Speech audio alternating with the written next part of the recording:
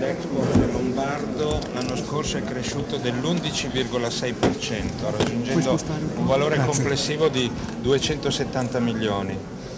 La Regione Lombardia eh, partecipa a questa ad Italy con un contributo, ma soprattutto abbiamo dato un bel po' di soldi, 450 mila euro per la promozione dei prodotti agroalimentari lombardi. Sono un'eccellenza anche in vista di Expo quindi domenica la Lombardia sarà presente come deve essere presente, cioè con i suoi prodotti eccellenti e eccezionali. Appunto in vista anche di Expo un rapporto ancora più stretto, ancora più importante con la Fiera come in Italy. Sì, certamente Expo sarà una straordinaria occasione per mostrare quanto di buono sappiamo produrre e il stile, i nostri stili di vita eh, e la partecipazione a Vinitali in vista di Expo è un appuntamento eh, assolutamente da non perdere.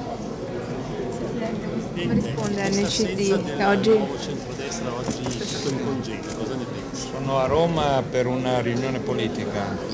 Però loro hanno venuto in congedo per motivi personali, forse Parolini dice c'è poco coinvolgimento da parte vogliono dei boss. Cioè, marzo, marzo è finito, non è stato fatto. Marzo è finito, questo, su questo concordo, sì, marzo è finito ieri, oggi è il primo di aprile.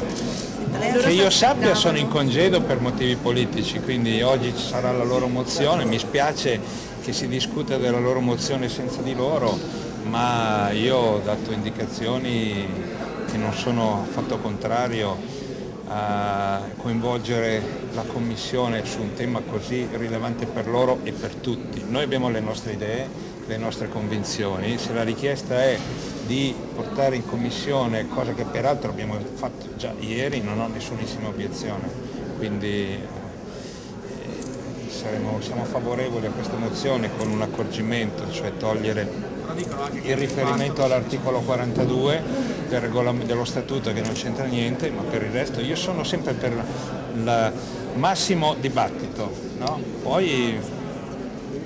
Però loro oltre alla mozione su Fondinasco contestano anche il fatto che non sia stata riequilibrata la giunta come era stato... la giunta cosa cioè, Loro sostanzialmente dicono che aveva eh, Ho capito. E che invece adesso Va dice bene. che non si fa. Poi? Sulla riforma del Senato mantiene le criticità espresse precedentemente? Ho letto ieri sera il testo uscito dal Consiglio dei Ministri, ci sono alcune modifiche migliorative, per esempio è stato tolto il trasferimento a Roma della protezione civile, così mi, mi è parso di capire, è stata una prima lettura un po' frettolosa e questo è, un, è bene, era una cosa che mi preoccupava molto.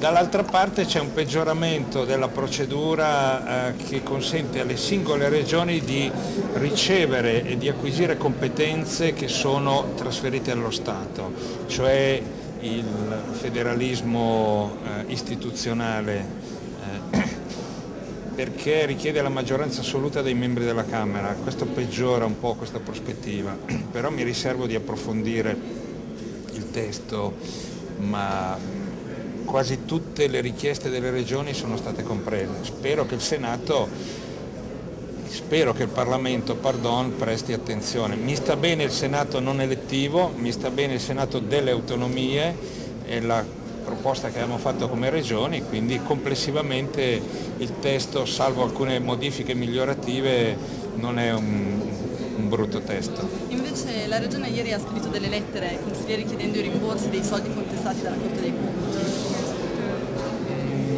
Io ho scritto una lettera su richiesta della Corte dei Conti. La Corte dei Conti mi ha chiesto di mandare questa lettera a un elenco di consiglieri per interrompere la prescrizione, per metterla in mora, cosa che ho fatto perché come legale rappresentante sono tenuto a, questa, eh, a dare attuazione a questa richiesta della Corte dei Conti.